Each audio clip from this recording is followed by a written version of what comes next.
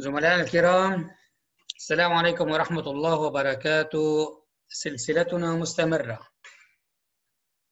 لقاؤنا القادم تتمة لبلاطات ال post tension slab تأثير الزلازل حيث بالزلازل ممكن أن ينقلب العزم الموجب إلى عزم سالب.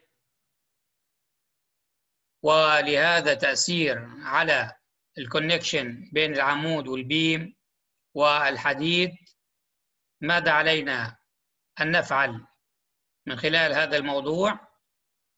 تأثير الحرارة أيضا وتقييد ال post tension slab وتأثيرات ذلك على عمل ال post tension slab والتشققات وأيضا التعديلات في ال post tension slab سيكمل معنا المهندس أنس الأخرس محاضرته السابقة بسبب ضيق الوقت.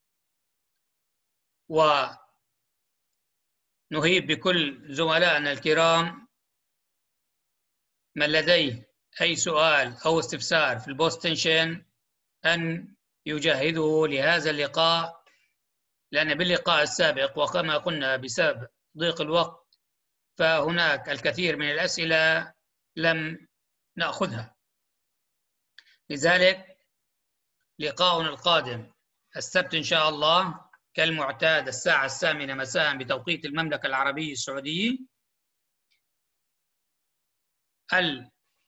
اللقاء الخامس عشر مع المهندس أنس الأخرس.